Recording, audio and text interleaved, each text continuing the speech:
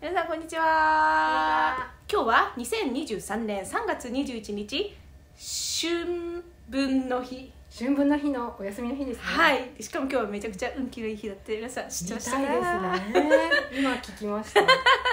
そんな日にですね、えー東海市芸術劇場交流広場にて交流パフォーマンスを今から、えー準備をしてしに行ってきますのでよろしくお願いいたします,、はい頑張ってきます。頑張ってきます。ではまた後ほどは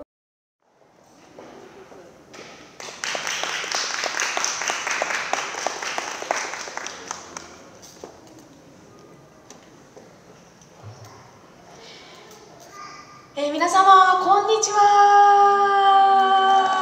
ありがとうございます。今日は2023年3月の21日春分の日でございますね。今日は何やらものすごく運気のいい日だそうなので今日集まっていただいた方はめっちゃ上がって帰れると思います。おめでとうございますことで今回はですね、え大ホールスピンオフコンサートという名前で私たち、えこの場に、え立たせていただいておりますが、えどんなものなのかと言いますとねその6月24日こちらのチラシをお配りしたと思うんですけれども、こうしたイベントがございまして、ま、スピンオフ的にですね、えこちらにいる美しい女性とコラボをして 一緒に盛り上がっていこうということで、えー今日という日をご用意させていただきました。改めまして東海市出身のシンガーソングライター静香です。よろしくお願いいたします、えーそしてはい、あの豊田市で映像制作と絵本作家をしております今井博恵と申します。初めましてだと思いますのでよろしくお願いします。よろしくお願いします。ありがとうございます。まあ実はあの、まあね、あのよくいらっしゃってくださるあのお客様は、えーこの今回ですねスピンオフということで6月24日のスピンオフでやらせてもらってるんですけど昨年のイベントにねあのお越しいただいた顔ぶれもたくさんいらっしゃいましてはいなので、えー今年はここのですね芸術劇場の大ホールをお借りして、イベントを開催するということで大変盛り上がっておりましてで、まあ、簡単に少しだけ概要を申し上げますと、えーこの大ホールのイベントはですね前半と後半に、えー分かれておりましてえー私が私と仲間たちが前半を担当そしてひろえさんがですね、えーまた別の仲間たちと後半を担当するということでまだお互いにどんなことをやるのか知らないんですけれども、えー同じ思いを持ってこのイベントを成功させようということでで何かこうその当日は一緒にねステージに上がらないけれども、はい。えーこのスピンオフの機会でちょっとおもろいことをやって皆さんにも一緒に喜んでもらおうということで今回の企画をねご用意させていただきました、はい。今回はひろえさんがこの日のためにですね書き下ろしてくれた物語とそして私も書き下ろした音楽をお届けをさせていただきますのでどうぞ短い時間ではありますがゆっくり楽しんでいってください。よろしくお願いします。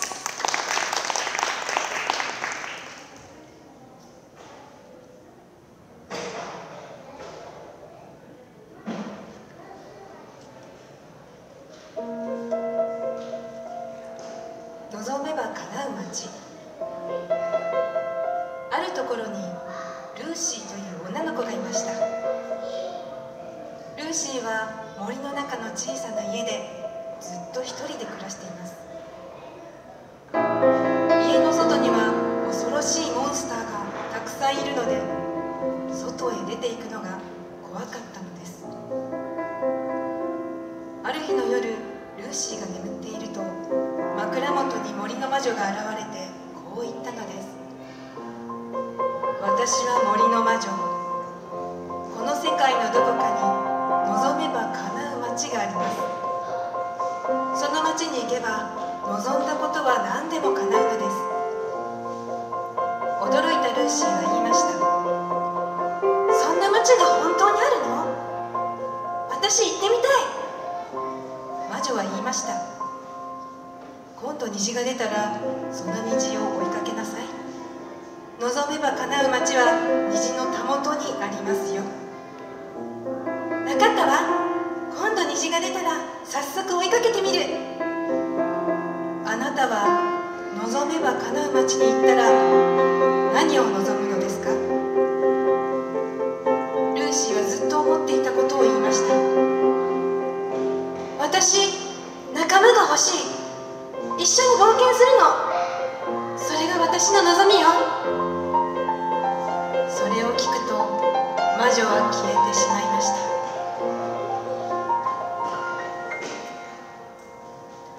ある日大きな虹がかかっているのを見たルーシーは家を出て虹を追いかける決心をしました。森の中で怖いモンスターと出会ってしまうかもしれません。ルーシーは家にあった綿棒と鍋の蓋を持っていくことにしました。何もないよりマシだと思ったのです。虹を追いかけて森の中を走っていると耳の大きなモンスターと少年がいました。少年はブルブル震えながら手にはフライパンを握りモンスターととしています。ルーシーは持っていた綿棒で鍋の蓋を思い切り何度も叩きました。するとその大きな音に驚いた耳の大きなモンスターが逃げていってしまいました。助けてくれてありがとう。僕はパーシー。私はルーシー。望めば、ま、な叶う町に行くところなの。そこへ行けば望んだことが何でも叶うのよ。そんな町があるのかい？僕も一緒に行ってもいい？もちろんよ。パーシーはその町に行ったら何を望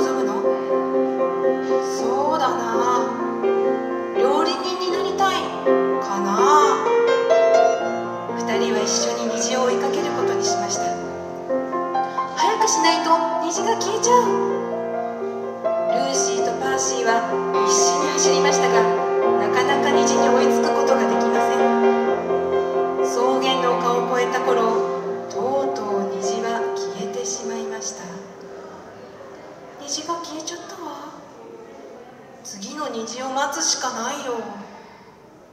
丘の向こうには今はもう誰もいない。町の遺跡がありました。2人はそこで一休みすることにしました。ねえ僕の持ってる小麦を君の綿棒で伸ばしてこのフライパンで焼いたら美味しいパンが焼けるんじゃないかな。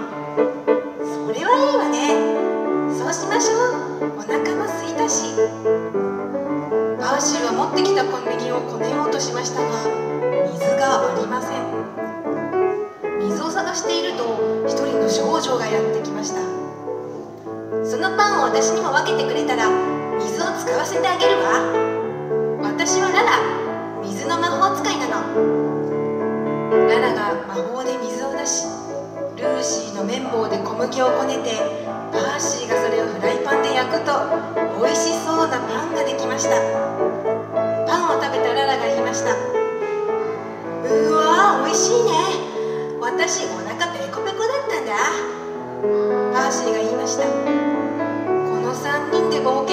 けたらこれからもこのパンが食べられるね。ルーシーが言いました。じゃあそうしましょう。ララあなたも望めば叶う町に一緒に行かない。望んだことが何でも叶う町なの。えー、そんな町があるなら私も行ってみたいわ。じゃあ一緒に行きましょう。ララはその町に行ったら何を望むの？そうね。しいパンを毎日食べたいかな。その時です。遺跡の奥から炎のモンスターがやってきました。誰に断ってここで火を焚いてるんだ。ここは俺様の縄張りだぞ。パーシーは言いました。分かったよ。すぐに火を消すから許しておくれ。今更消したってもう遅い。お前たちを焼き尽くしてやる。に襲いかかりました。その時ララが水の魔法の炎のモンスターに水のジェット噴射を浴びせました。これでもくらいな。うわー水の魔法使いがいるなんてここは大惨だ。炎のモンスターはたまらずに逃げていってしまいました。ララが水の魔法使いで助かったよ。ありがとうララ。のくらいお安いご用さ。3人は一緒に笑いました。ルーシーは気がつくと仲間と巡り合って一緒に冒険をしています。こんな仲間とこんな冒険ができるなんてルーシーはすっかり楽しくなってしまいました。その時ルーシーはハッとしました。私が森の魔女の前で願った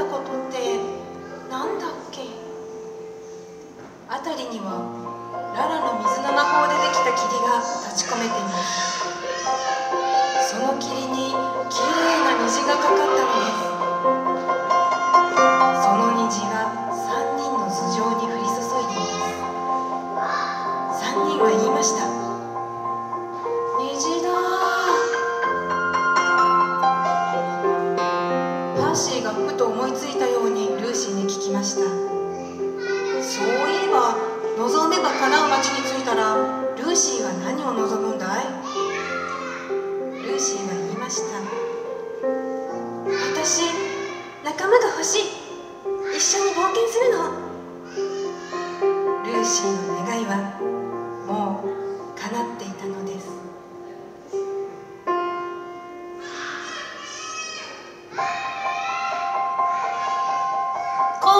声にない声も聞かせてよ。そこに眠ってる最高のシナリオ。譲れない気持ちとか許せない思いとかも。声にならない声も聞かせてよ。そして始まるかもしれない。ルナティ